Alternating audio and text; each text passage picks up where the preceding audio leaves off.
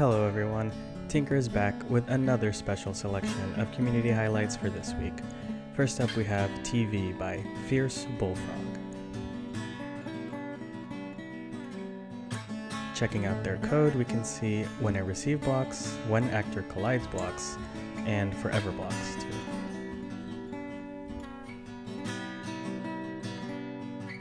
Run through the galaxy and defeat the enemies with your bow.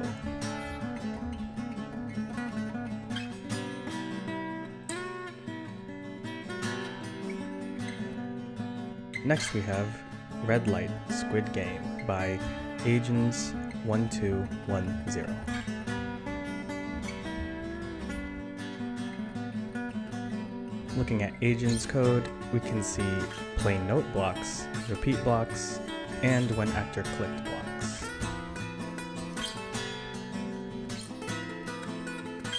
Based on the hit Netflix show, Dare to Cross the Line When You Can.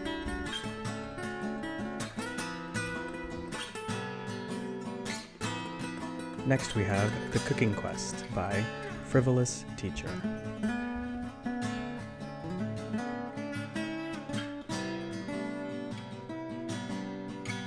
In their code we see switch to background blocks, when I receive blocks, and broadcast blocks too.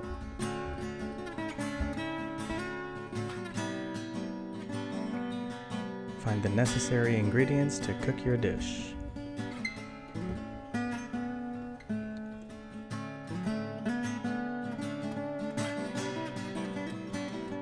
Lastly, we have Escape by Three Dots.